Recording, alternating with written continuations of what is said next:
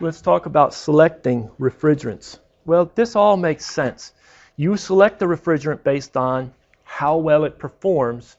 Does it give you a good COP for those temperatures that you want with reasonable pressures? You don't want astronomically high pressures in the evaporator or the condenser because if somebody punctures it, you don't want it to act like a bomb, right? And things do have leaks in them and the higher pressure it is, more difficult it is. Safety, some refrigerants are flammable. So if you have a leak, it could, with any spark around it, could, boop. Some refrigerants are butane and propane, ammonia. Uh, and then also the environmental impact has come on strong since the 1970s. Does it go out and do bad things to the environment because these systems will leak the refrigerants? That they, they just will leak.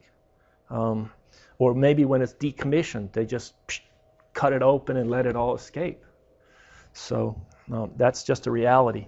Synthetic refrigerants, man-made refrigerants, were developed in the 1930s because of toxicity and flammability of most of the refrigerants before that time. So if it leaked out, settled on the floor, worker bent down to pick up a tool, got a big whiff, maybe they fell on the floor and they died, or something like that, right?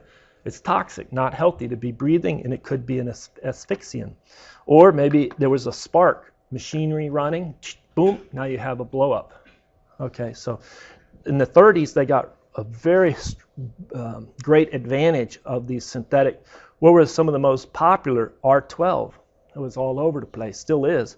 It's a chlorofluorocarbon, uh, carbon, CFC. Uh, it's now been outlawed because of environmental concerns. R22 hydrochlorofluorocarbons. So used to be if you had an air conditioning system in an automobile, it was all R12. That's probably now before you were born. Uh, but now they're all 134A. Why did they switch? Not because of toxicity, not because of flammability, but not because of safety, not because of performance, actually. It's environmental impact.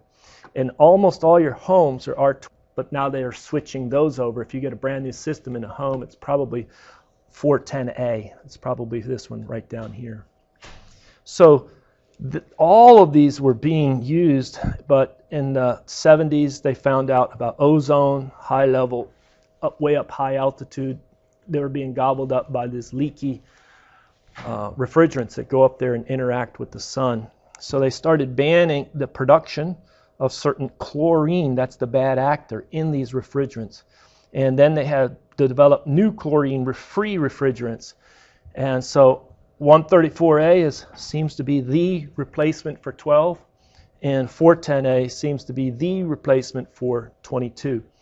So just take a look at what they look like. Um, you can tell this one, R22, has a carbon, a hydrogen, a chlorine, and two fluorines. And it looks like methane. So the C, the carbon, is surrounded by four things. One is a hydrogen, one big chlorine sitting out here, and then two fluorines. This is another illustration of 134A. So it has a carbon and a carbon, like two methanes combined and linked.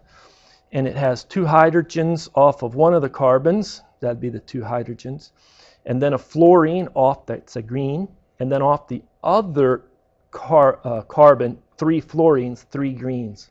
I'm not a chemist. So there are different makeups of these synthetic refrigerants. Uh, here is more on that phase out from the EPA. Went to the EPA website and took a look. And uh, as of January 1st, 2010, because of the Montreal Protocol, the US, blah, blah, blah, as a result, HVAC, heating, ventilation, air conditioning systems manufactured may not produce any new air conditioners or any new heat pumps that use R22. And you can see increased agreements that will be continuing to kick in. Chemical manufacturers no longer able to produce. So that's what it is. You'll be able to use it if it's been reclaimed, but you won't be able to produce any. Right now, the pound cost of refrigerant 22 it just continues to skyrocket. So what it used to be, it's probably at least a factor of four or five since 2010. Just so it's going to go out by economics. One other thing, other than the high level ozone depletion, and they characterized a lot of refrigerants. Here's a lot of refrigerants. And they would look at the ozone depletion potential. And long bar to the left is bad, short, stubby, or if no bar is great.